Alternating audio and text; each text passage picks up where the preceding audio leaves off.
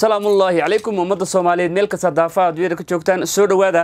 Halkani waa gaas filmis anna waxaan injineer cabdidaahir gaas xog culus ayaan hadda rabaa inaan idiin sheego ama idinla wadaago oo dabcan xog aad u halisa weeye. Beesha dhulbaantay iyo ciise maxamuud oo ka mida beelaha harti ayaa hub hub aad iyo u fara badan ka gatay dowladda etoobiya hubkaasi oo isugu jira hubka noocyadiisa kala duwan altaleriga hubka meelaha fogfog wax ka gumaada iyo dabcan hub aad iyo u fara badan ayay waxay ka soo gateen dowladda etoobiya dabcan xogtaasaan raba hadda inaan idinla sheergarayo waana bilaabi doonaa muuqaalka kabacdi baynu isku soo yaro noqon doonaa insha allah soo dhawaada ummadda soomaaliyeed barnaamijkana sii sheergaraya soona dhawaada barnaamijyadayda keliya waxaad ka daawan kartaa gas films iyo bejka gas films aan ku leenahay facebooka iyo only youtube-ka. Meel kale kama daawan kartid. Anaana taa kuu ballan qaadaya. Insha allah soo dhawaada. Oo hubka altileriga da soddon ma soddon adhi five jantajingue iyo rookeetka iyo kontratangiga. Qoriga b m-ka loo yaqaano ee rooketka ee rushia lagu sameeyo afartanka dhuumooda. Inkastoo labadii asbuuc ee la soo dhaafay xaalad deganaasha laga dareemayay magaalada laascaanood iyo deegaanada hoos yimaada halkaasoo dhiig badan uu ku daatay. Haddana waxaan helnay xog ku aadan in beesha dhulbahante iyo beelaha lafaca ah ay hubkii ugu cuslaa ka soo gateen dowlado dhowr ah oo ku yaalla qaaradda afrika tibinta warbixinteennan iyo sheekadan waxaynu ku dul istaagi doonnaa waddamada hubkaa siiyey beesha dhulbahante waxa uu ka tari karo dagaalka magaalada laascaanood iyo sidoo kale dhaqdhaqaaqyo ciidan oo ay dhinacyadu kala wadaan.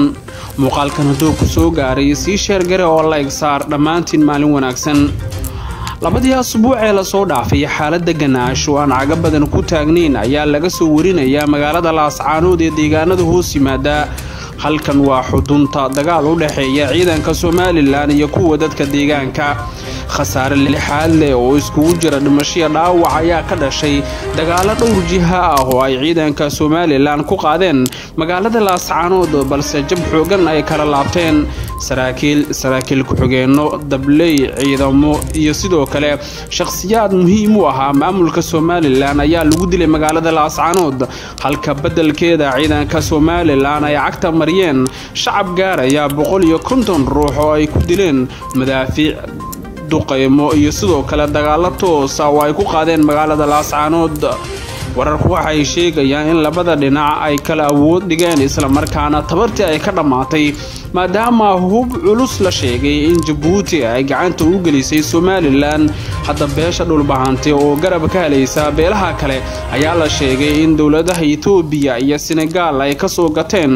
Hub culus oo aan hore loo arag hubkan ayaa la sheegay in qaarkood ay hadda galeen magaalada laascaanood halka kuwo kale ay ku joogaan dekadaha magaalooyinka boosaaso iyo garacad halkaasoo la aaminsan yahay in saacadaha soo aadan ay ka geli doonaan magaalada laascaanood jihada bari hubkan ayaa la aaminsan yahay inuu wax badan ka tari karo duulaankii gardarrada ahaa oo ay ciidanka somalilan ku qaadeen magaalada laascaanood ee xarunta gobolka sool dadka korfeeya arrimaha amniga ayaa aaminsan in labada asbuuc ee soo aadan dagaalkii ugu qaraara oo ka dhici karo magaalada laascaanood maadaama dhinacyadu ay wadaan hub uruursi iyo xuuraansi ku aadan inay helaan gurmadyo kala duwan dhanka somalilan. Haddaan eegno dhowrkii saacee la soo dhaafay somalilan waxay heshay gurmad xoogan iyo hub aan hore loo arag.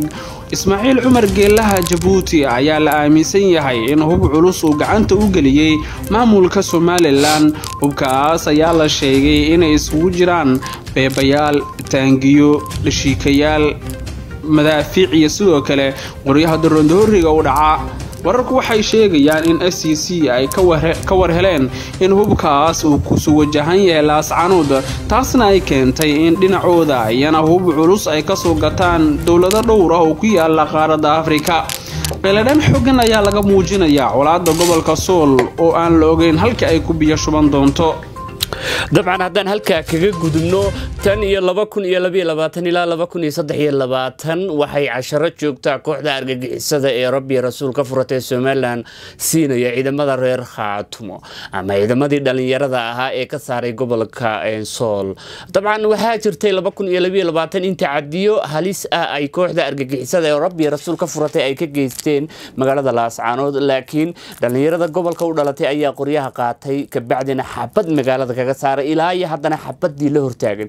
Meel ay maraanna way la-yihiin waxa ay soo qaadeen siddeetan iyo afar weerar siddeetan iyo afarka weerarba dabada ayay dhulka ku dhufteen marka argagixiso waa argagixisow tan kale ee jirta waxa ay tahay garaadadii beelweynta dhulbaantay ee fiqishini ee ku sugnaa magaalada muqdisho. Waxay weji gabax kala kulmeen dowladda federaalka ama dowladda fadhiidka ee xasan sheekh maxamuud hogaaminayo.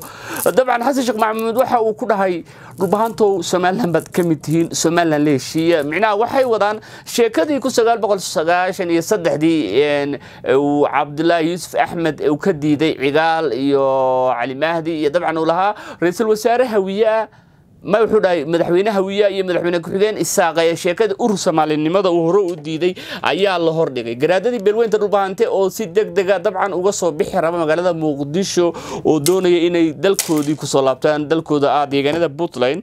Dabcan waxaynu wici doonaa gabadh ka mid a saraakiishii hore ciidamada dalka soomaaliya gabadhaas oo dabcan aad iyo aad ula socotay xaaladaha magaalada dabcan xaaladihii ugu dambeeyey iyadoo toos ula socotay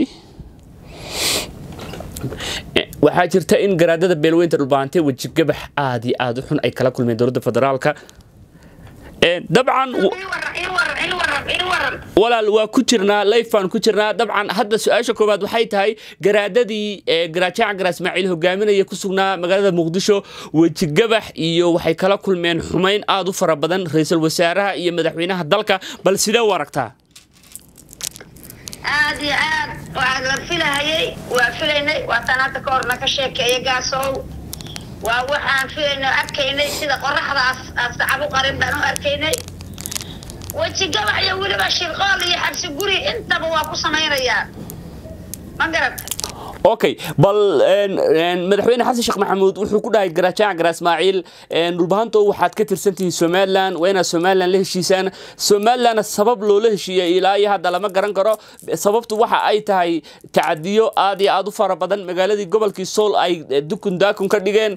Soo lama oran karo sheekadii sagaashan iyo saddexdii uu diiday madaxweyne cabdulaahi yusuf axmed ayaa hadda soo ifbaxday oo ahayd madaxweyne ha sugaan kuu dhammaaday hadda wado weliba waxaa weeye dari markii qof iyo cod la yidhaahdo waxa weeye waxay u qabaan dadku hadda xasan sheekh maxamuud inuu ku baaqay qof iyo cod doorasho qof iyo coda. Qof iyo cod oo waxaa la yidhi xildhibaankiisii xildhibaanadii hore laba boqol toddobaatan iyo shantii ku salaysan waxay cararayaan dib iyo hawiye meesha tan haddii qof iyo cod caadiya oo sax qof loodumadiisa iyo tuuladiisa laga soo doorto xildhibaanada hadda la haysta lama haysanayo. Lixdan iyo kow isaaq xagge xagee keenaya. Waxaa gobol iyo barba u haye. Calaa ayi xaal dani garab ha la siiyo. Mideeda kaleeto waxaan kuu sheegayaa shantii garaad shantii garaad maalintii hore ay soo qoreen. Waa anigu ku iri shanta garaad oo lafdhabarta u ah shantayada garaad ee lafdhabarka u ah oo aqoon-yahanka ah waa sida adin kaliya maaha waa aqoon-yahankayadii weeye waa barfarsoorradayadii weeye yaan loo dir anu garaadjaamac baan ku tuugsada inaan ka reebo garaadjaamac baan ku tuugsada ilaahay mahadiis maanta garaadjaamacdasa gacanta ku dhigin jaa wuxuu ka dejin lahaa garaadjaamac hadduu la socdo magaca ilaahay hadajuu ka dejin lahaa ismaaciil cumar geella meesha tan hagaya ismaaciil cumar geelle weeye maxaan ku gaari meeshaan kooxda joogta oo maafiyada dami jadiid agaasima xasan sheekh maxamuud oo damidkaa ra'iisul wasaaraha abadihinina meeshaan ra'iisul wasaare ma joogo. Waxa weeye guri uga shaqeeya. Waa xoghaynta xasan sheekh maxamuud. Kana waa agaasimaha ismaaciil cumar geelle daardiyo baraarugsanaada baraarugsanaada nimankaas calaa ayi xaal anigu horaan uga faallooday inay tagaana raalli kama ahayn. Maantay waxaan ku lafahooda allaha ka soo badbaadiyo okay dabcan waxaa jira in maanta madaxweynihii iyo ra'iisul wasaarihiiba weji gabax garaadadii kala kulmeen garaadadiina dabcan inay soo baxaan ayay rabaan bal dabcan iyada oo xataa maamulkii khaatumo dhiidaba in la dhiso sida ugu dhaqsaha badan laakiin lama oran karo garaadadu khalad ayay ku tageen muqdisho waxaa la rabay garaw garawa inay joogaan